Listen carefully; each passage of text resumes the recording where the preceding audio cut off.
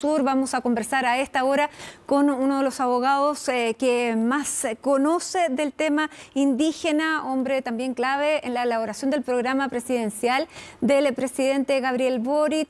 Es eh, también eh, militante de Revolución Democrática, es el ex asesor también en materia indígena del Ministerio del Interior, el abogado Salvador Millaleo. ¿Cómo está, abogado? Muchas gracias por esta conversación. Muy buenas tardes. Buenas tardes, Matilde, un placer. Abogado, veíamos eh, la quinta prórroga ya de este estado de excepción, un estado que el gobierno nunca quiso eh, proponer, tener que pedir, sin embargo vamos en la quinta prórroga. ¿Qué fue lo que a su juicio pasó? Eh, la violencia se fue de las manos, otra cosa era gobernar, se cometieron imprudencias, hay presión por la derecha. ¿Qué es lo que ve usted en esto? Bueno, uno podría decir que, eh, por cierto, la violencia es un dato que se viene incrementando hacia arriba desde, los últimos 20 años. Eso está muy claro y en los últimos años esto se ha incrementado mucho más. Eh, y por lo tanto la situación inicial no era fácil. Sin embargo, lo que hasta ahora se echa de menos cuando se ve la quinta prórroga del estado de excepción es cuando vamos a intentar hacer algo distinto de lo que ya se ha venido haciendo. Porque eh, claramente tampoco se puede tener un estado de excepción eternamente. Creo que ahora se está usando el estado de excepción en la esperanza de que como la nueva constitución no, no, no contemple el estado de excepción de emergencia que se está usando ahora, ahí se vaya a terminar esto. Pero, eh, por ejemplo, de continuar la constitución del 80, eh, ¿qué vamos a hacer? O sea, mm. esto va a continuar por un tiempo indefinido y eso la verdad que no es muy consistente con la idea de un estado de excepción, que es excepcional. Entonces, ¿cuándo vamos a hacer algo realmente distinto y tratar de salir de esto? Porque tampoco se ve que esta medida esté teniendo resultados eh, efectivos para eh, terminar con la violencia y menos para eh, enfrentar las raíces o las causas profundas del conflicto. Entonces, la pregunta es ¿qué vamos a ver ahora? ¿Vamos a ver alguna vez algo realmente distinto? Bueno, lo que se proponía inicialmente era una, apertura al diálogo. De hecho, fue eh, la razón por la que la ministra del Interior comenzó el día 15 de, marzo yendo ahí a, a. No le fue bien y ahí el diálogo parece que, quedó, o el esfuerzo por iniciar un diálogo quedó interrumpido porque bueno, se necesitan también condiciones para iniciar un diálogo. Uno, que las partes quieran, otra, que eh, haya una situación de seguridad eh, más o menos eh, controlada para que la gente vea que efectivamente el Estado está pudiendo llegar con las soluciones que promete y ninguna de esas condiciones están ocurriendo. Matilde, eso puede ser correcto respecto a comunidades en conflicto o derechamente con estas orgánicas de los grupos radicalizados mapuches. Pero existe una amplia mayoría eh, de fuerzas mapuches que no están en esa postura, que son dialogantes, que han declarado que lo son y que y respecto a lo cual se cumplen todas las condiciones para dialogar. Es la gran mayoría del pueblo mapuche y se destacan grandes organizaciones como la Identidad Lafkenche, en fin, el Parlamento Cosco, solo para mencionar dos ejemplos, de organizaciones completamente pacíficas que reivindican derechos, que critican al Estado, pero lo hacen dentro de márgenes donde eh, eh, ellos han hecho constantemente una invitación al diálogo. Entonces la pregunta es por qué no es iniciado todavía o aún, digamos, una, un diálogo con ellos. ¿Y qué explicación ve usted? A ver, eh, quizá una explicación, digamos, es algo que dijo el delegado de la Araucanía, hace como cuatro meses, usted recuerda, de que se iban a empezar los diálogos después del plebiscito del 4 de septiembre. Mm. Entonces, eh, porque no hemos visto que se hayan desarrollado estos diálogos, que se hayan tomado acuerdos o preacuerdos, no hemos visto mucho de eso. Entonces, probablemente aquí hay una espera, porque claro, con una nueva constitución, el marco de lo que se puede conversar es mucho mayor de lo que eh, se puede conversar ahora en la relación entre Estado y pueblos indígenas. Eh, pero bueno, e, eso tiene un riesgo, que sabemos que eso depende de, que gane la prueba. Entonces uno se pregunta qué, qué va a pasar entonces si gana el rechazo. Parece que la situación se podría, para los diálogos, eh, verse muy, muy comprometida. pero, pero es, una de las explicaciones que uno se podría dar.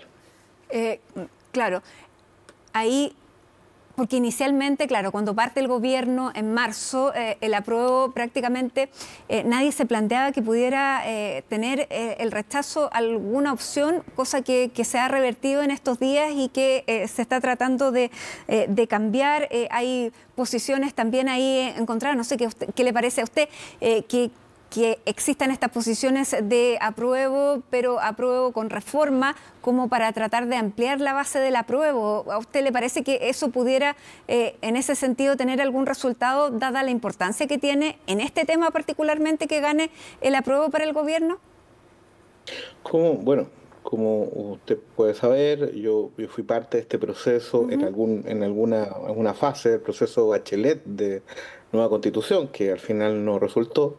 Entonces, para mí esto es el segundo proceso constituyente que yo observo. Mm. Entonces, para mí no es dramático pensar que los procesos pueden durar más de lo que uno piensa y que eh, pueden corregirse posteriormente, pueden que hay una serie de desafíos de implementación e incluso de enmienda eh, considerando que en cualquier caso los aspectos más sustantivos no se, o nucleares de la nueva constitución no se modifican. Entonces, yo la verdad no veo dramático en que se planteen reformas que no significan retrotraer cosas que se decidieron ya en la convención, pero que puedan perfeccionar la nueva constitución. Me parece, digamos, del todo normal que un proceso constituyente siga sufriendo ajustes hasta que quede aceptable y que convoque a la mayor cantidad de gente. Y eso debiera quedar eh, claro antes em, em, de que se realice esta votación del plebiscito de salida. No lo veo tan necesario. Creo que es necesario que se manifieste la voluntad con con una expresión bastante clara que esa voluntad existe, pero ya el debate concreto se tiene que hacer también con participación de la ciudadanía, no puede hacerse como una cocina. Pero a mí me parece en todos los aspectos, también el tema indígena, que hay varias cosas que se pueden perfeccionar, el tema del consentimiento, creo que hay que arreglar algunas cosas ahí, en la justicia indígena también. Bueno, precisamente el Frente Amplio planteaba en esto uno de los 12 puntos que el tema del consentimiento indígena eh, debía quedar en la fase de, implementación de las leyes que se elaboren para la implementación, acotado para que eh, se desmitificaran eh, los fantasmas que están rondando antes de, la, del plebiscito. ¿Usted en ese sentido concuerda? Ese es uno de, de los temores, de los fantasmas que están rondando el tema indígena. Yo creo que yo no le veo ningún problema a, acotarlo, porque hay que dejarlo en el estándar internacional y, quizás está por sobre el estándar lo que se estableció en la convención, que en ningún caso dice o señala que es un cerrojo, que se requiere eh, consentimiento para modificar la constitución, es una interpretación absurda, pero sí creo que se puede acotar más eh, dejándolo en el nivel del estándar internacional. Eh, y en el caso de justicia indígena hay muchas cosas que precisar, porque la justicia indígena no puede pensarse como una justicia paralela, sino una jurisdicción especial que además requiere una, implementación gradual. Yo estoy de acuerdo con que eso eh, se pueda mejorar y no lo veo complejo. Eh, eso no va a debilitar la plurinacionalidad, sino que la va a fortalecer. usted, Salvador, después que salió del Ministerio del Interior, ¿ha conversado con el presidente respecto a estos temas? No, no, no he tenido la oportunidad, pero, yo sigo eh, teniendo esperanza, digamos, y creyendo en la visión política que tiene el presidente. O sea, esperamos, digamos, la gente que tiene una sensibilidad de izquierda como yo, de que lo más pronto que se pueda, eh, antes o después del plebiscito, pero lo más pronto que se pueda, se retome un camino de diálogo político con, los actores que sí están dispuestos a dialogar. Ahora, hay eh, fenómenos que lamentablemente por todo el tiempo que ha pasado en, el sur, en la macrozona sur, em, se han ido complejizando, se han ido añadiendo elementos que antes no existían eh, y tenemos el problema de la reivindicación, pero también tenemos el problema em, del crimen organizado que muchas veces se, aprovecha de que el Estado no está para, para entrar. Y ahí tenemos dos problemas paralelos que no tendrían por qué eh, digamos, tratarse como uno solo. Sin embargo, eh, hay una situación de seguridad que es compleja.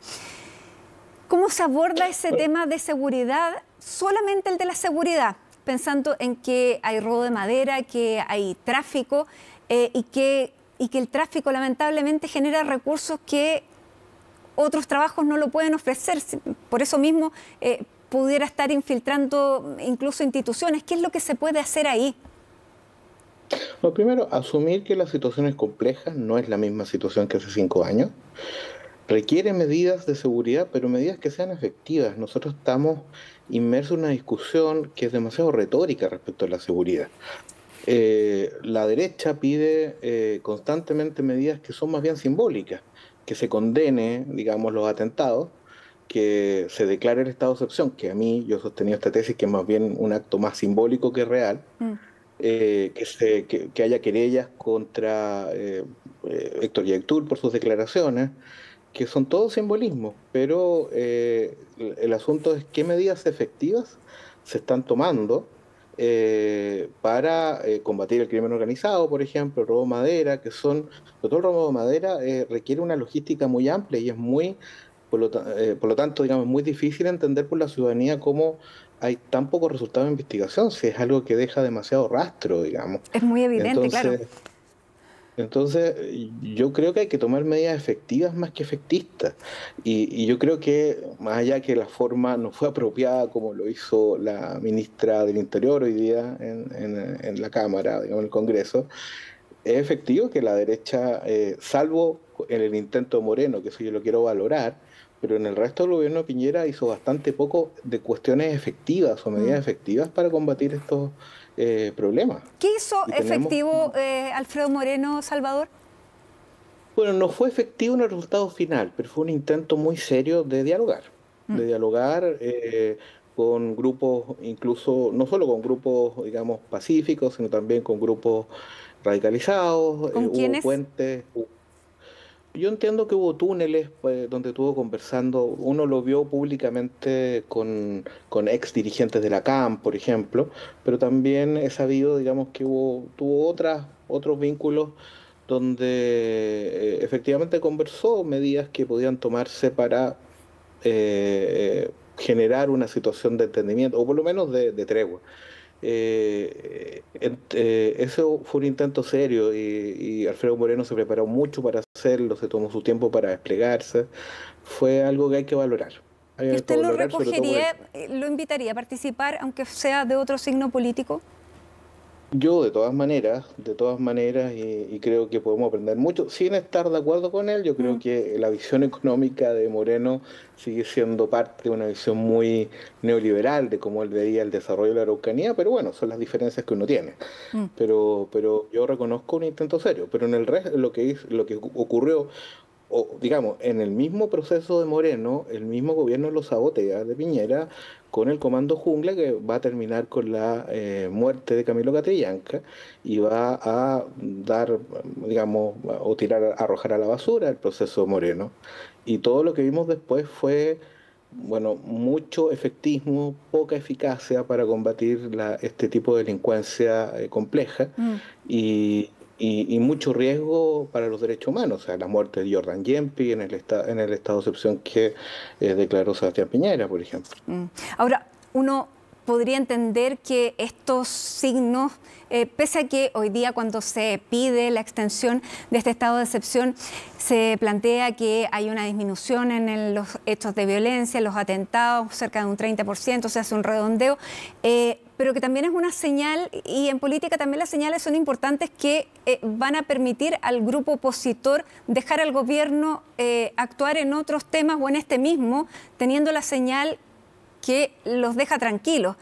Em, eso por un lado, no sé si usted está de acuerdo en que las señales también en este proceso pueden ser importantes en esta, eh, aunque sea en esta comilla, sensación de seguridad.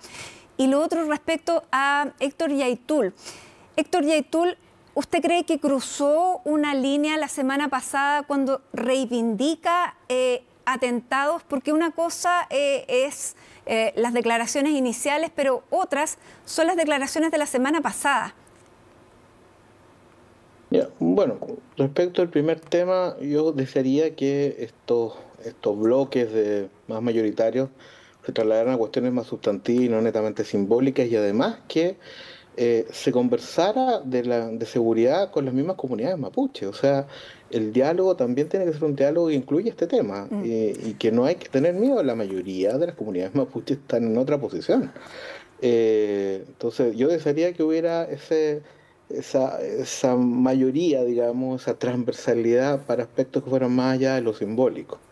Y, y respecto a Yaitul, bueno, eh, claro, esto tiene que ver con algo simbólico. Piden que que el gobierno se querelle eh, porque Yaitul está apareciendo y apareciendo cada vez más. Uno no puede dejar o, no puede evitar leer esto eh, de acuerdo a la coyuntura en que estamos, que es el plebiscito. Y, las apariciones de Yaitul, la verdad, no sirven, no sirven mucho, más bien perjudican francamente la opción del apruebo. Ya, no es que Yaitul esté con el rechazo, más bien, más bien Yaitul está fuera de la discusión constitucional, él lo ha dicho, pero eh, claramente uno puede leer un intento de Yaitul de validarse, posicionarse como un líder, eh, y uno se tiene que preguntar por qué. Quizá es porque huele o, puede palpar, digamos, eh, las dificultades del apruebo, posibilidades de rechazo y por lo tanto una especie de bancarrota de los líderes indígenas que estaban en esa postura, como Elisa Locón, en fin y, por lo tanto un intento de mostrarse él como el verdadero líder del pueblo mapuche. Entonces, Pero en esta provocación el, el gobierno no puede quedar indiferente. No, pero tiene, tiene un dilema el gobierno, que más allá, yo soy abogado y podemos hacer la discusión, no soy penalista, quizás hay otros que lo pueden hacer mejor que yo, eso, pero eh, uno puede dar la discusión de si eh, realiza los tipos de la ley de seguridad interior del Estado o otros tipos penales. Pero si uno lo lee políticamente, por supuesto es un aprieto para el gobierno porque el intento de Yatul claramente es provocar para eh, obtener una reacción. Y en la medida que obtiene una reacción, obtiene más visibilidad y, y, por lo tanto maximiza sus resultados. Claro, pero hasta ahora tampoco no haberla presentado eh, estaba obteniendo resultados para el gobierno, más bien estaba doblando cada vez más su apuesta. Así es, entonces eh, no es una situación fácil, eso lo quiero decir, digamos, para, para señalar que no hay una respuesta que, que es obvia, hay que ponderar las cosas. Uno, uno se puede preguntar, bueno, entonces, ¿por qué no lo hicieron antes? ¿Por qué no presentar la querella antes? ¿Por qué tienen que hacerlo ahora? La respuesta quizá ahí está porque eh, esto tiene más incidencia en la coyuntura del plebiscito constitucional eh, que, que, que, que hace un mes atrás, por ejemplo. Pero claro, es una situación difícil una situación difícil porque la aparición y el discurso de Aitul no, no está ayudando a la prueba. Em, Salvador, y finalmente, bueno, eh, faltan, claro, eh, prácticamente ya un poco más de un mes para, para el para el plebiscito, seguramente el gobierno va a tener que nuevamente pedir una sexta prórroga de la extensión del estado de emergencia. Em, la situación se va, a terminar extendiendo. Veíamos recién al senador em, de Urresti pidiendo que se repusiera de alguna manera eh, la ley de infraestructura crítica. ¿Cómo ve desde esa perspectiva? La discusión que se le viene al gobierno, porque en cada una de estas prórrogas, de estas discusiones, hay un desgaste evidente. Desde una sensibilidad de izquierda no podemos sino pensar que el tema de seguridad es importante, pero creo que hay mucha gente que desea que, que el núcleo de la estrategia del gobierno hacia los pueblos indígenas sea distinto. Que la senda del diálogo se tome no como una palabra así como que ahora parece un poco vacía, sino como algo concreto, algo que se despliegue, que se realice, que uno vea eh, diálogo operativo. Eh, entonces, eh, yo creo, yo creo, yo no, yo no apoyo la violencia, me parece ilegítima, por mucho de que historia, puede haber razones históricas, una gran desigualdad, una violencia institucional. Sabemos, digamos, que la violencia solo causa más heridas y aleja más a los a, la causa mapuche, a la demanda de los derechos mapuches por, de realizarse en la práctica. Eh, eso, digamos, para mí es una certeza, digamos. Eh, pero para eso eh, me parece que la securitización, el discurso criminalizador, ha mostrado a lo largo de décadas que no produce resultados concretos ni para los derechos mapuches ni para generar seguridad concreta a las personas. El diálogo usted lo habría iniciado mucho antes. Yo creo que hubo un intento, pero que debió llevarse eh, más consistentemente y empezar con los que quieren dialogar y, luego ver quiénes, quiénes eh, se suman. Eh, creo que dentro del ámbito de los grupos radicalizados tampoco hay una homogeneidad, no, no es la misma actitud. Eh, y, pero las posibilidades son variadas y hay que construirlas y, la, y quizá el reflejo político más inmediato, a mi juicio, digamos, pudo haber sido empezar con las grandes organizaciones indígenas que sí estaban dispuestas y así dar una señal a los no indígenas y a los otros mapuches de que esto va en serio. Finalmente, y con esto sí que termino, eh, abogado, bueno, sabemos que usted nos salió... Eh, del gobierno, eh, en los mejores términos tal vez con, la ministra del Interior, pero ¿cómo la vio hoy día y usted cree que efectivamente la ministra del Interior está siendo causante eh, de, la erosión que está teniendo el gobierno también en la, en la aprobación que tiene? Bueno, eh, la verdad, bueno, no, no, me sentí muy bien ahí, pero para mí ya es un capítulo cerrado, Matilde, entonces yo quisiera un poco eh, evitar eh, evaluar personalmente la gestión de la ministra. Eh, yo le deseo al gobierno lo mejor posible. Claro, hoy día hubo una situación compleja, pero creo que debemos situarnos en la discusión de fondo. ¿Cuál es la estrategia que el país quiere tener, el, el Estado como Estado en general? y qué estrategia quiere tener el gobierno en particular respecto a los temas indígenas. Entonces yo deseo que se retome la estrategia de diálogo, quizá lo que pasó hoy día ni en, ni en el fondo, que renovar el estado de excepción, ni en la forma, esta discusión ayuda, pero no, no quiero entrar a, hacer evaluaciones personales. Le deseo, la verdad, al gobierno la, la mejor fortuna posible en esto. Muy bien. Salvador Millaleo, abogado, muchísimas gracias por haber conversado hasta ahora con CNN Chile. Que tenga una buena tarde y, por cierto, eh, esperamos nuevamente contar con usted. Que esté bien. Muchas gracias a ti, Matilde. Hasta luego.